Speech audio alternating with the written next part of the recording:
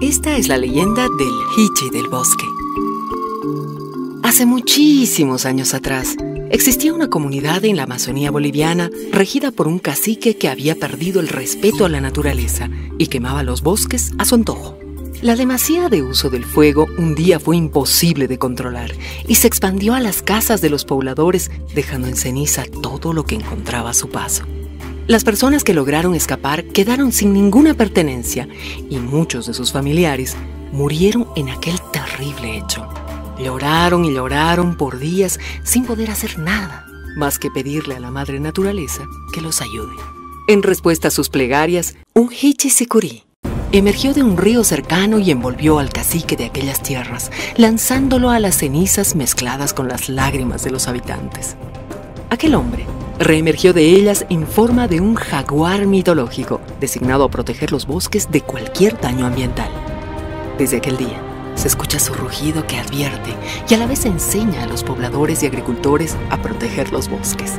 Cuidado con el hichi, advierten los comunarios a todo aquel que amenace con usar el fuego.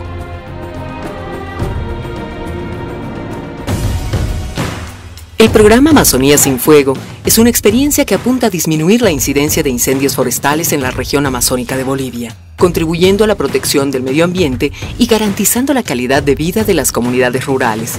La iniciativa, apoyada por una plataforma de instituciones integrada por el Ministerio de Medio Ambiente y Agua de Bolivia, la Agencia Italiana para la Cooperación al Desarrollo, la Agencia Brasileña de Cooperación ICAF, Banco de Desarrollo de América Latina. El programa Amazonía sin Fuego Bolivia adoptó como vocero de su causa al Hichi del Bosque, un ser mitológico y leyenda de las tierras bajas de Bolivia, quien ahora enseña sobre el desarrollo sostenible en armonía con el medio ambiente y las alternativas al uso del fuego. ¿Qué plantea el programa?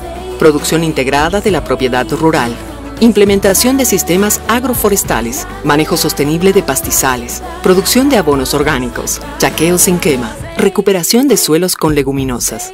Para conocer más sobre la propuesta, visita la página web www.pasf.org.bo y pregúntale al Hichi del Bosque.